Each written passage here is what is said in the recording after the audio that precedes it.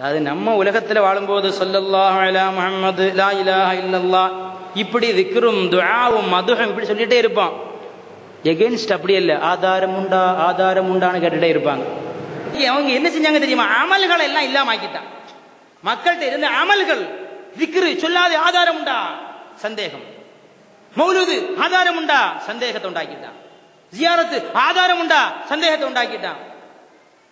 கூட்டுதுவா ஆதாரம் உண்டா பாப்பா இது ஆதாரம் உண்டா இல்லையா? செய்ய மாட்டேன். இப்படி முஷக்கிக்குல்லா எஃப்லஹ் சந்தேகத்தை உண்டாக்கக்கூடியவன் ஒருபோதும் வெற்றி பெற மாட்டான் என்பதாக செய்யுதுனா அஹமதுல் கபீர் ரிஃபாய் ரஹமத்துல்லாஹி அலிஹி அவங்கள்ட்ட அவங்களுடைய உஸ்தாத் அப்துல் மலிக்குல் ஹர்னூபி சொல்லி கொடுத்தாங்க.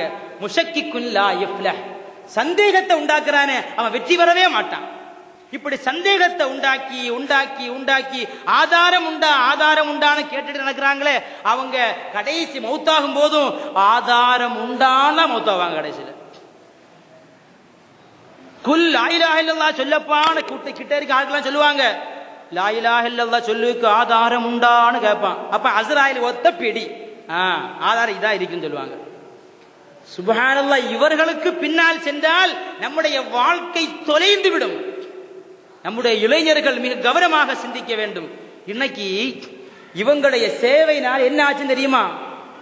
சொல்றான் முகமது நபி சாதாரண நபி சாதாரணமாக பிறந்தாங்க சாதாரணமாக வளர்ந்தாங்க சாதாரணமாக வாழ்ந்தாங்க சாதாரணமாக மௌத்தானாங்க.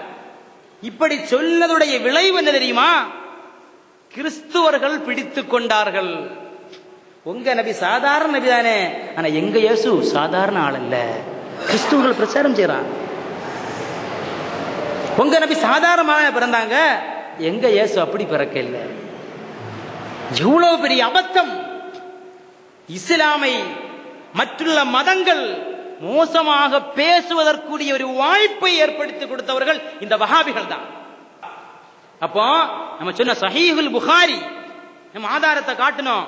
செய்தன ஆசிம் பின் சாபித் ரலியல்லாஹு தஆலா அவர்களுடைய வஃபாத்திற்கு பிறகும் அல்லாஹு சுப்ஹானஹு வ தஆலா அவர்களை சங்கைப்படுத்தினான் அவர்களை கண்ணியப்படுத்தினான் அவர்களுக்கு கராமத்துகளை வழங்கினான் அவர்களுடைய உடம்பை காபிர்கள் தொடாமல் அல்லாஹ் பாதுகாத்தான்.